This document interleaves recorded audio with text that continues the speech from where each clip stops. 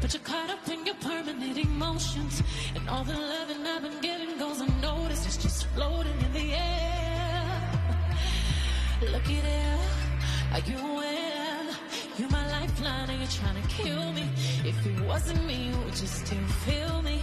Like on my worst day? Or am I not thirsty enough? I don't care about the lights or the beams, but my life.